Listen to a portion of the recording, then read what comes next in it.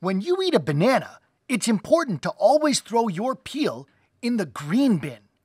In the region of Peel, green bin items are collected every week. The stuff in your green bin goes to the Peel composting facility in Brampton, where it's dumped into an area called the tipping floor.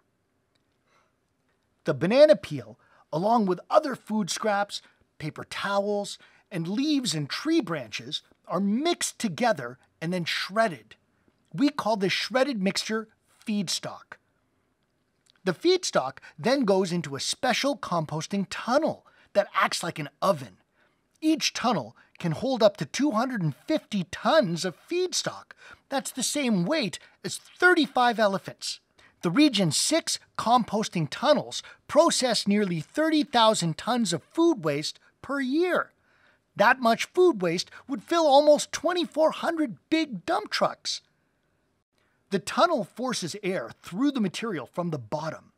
This air lets billions of tiny bacteria break down the material.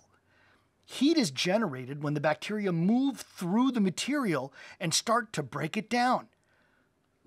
This heat is important because it destroys unwanted seeds, bacteria, and viruses. The feedstock stays in the tunnels for seven days and goes through five phases. Phase one is the warm up phase, when the bacteria in the feedstock start to come alive. Phase two is active composting, where the bacteria go to work breaking down the material.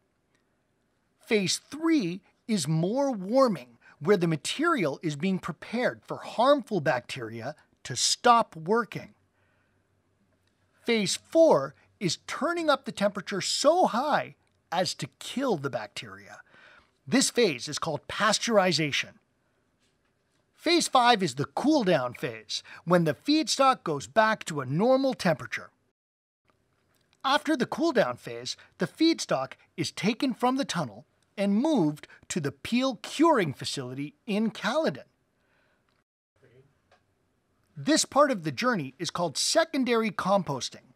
Secondary composting takes another eight weeks to complete and turns the feedstock into a product called curing material, which is then screened.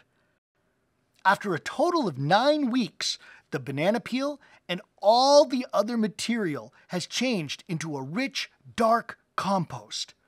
Farmers buy this compost to grow fruits, vegetables, and plants.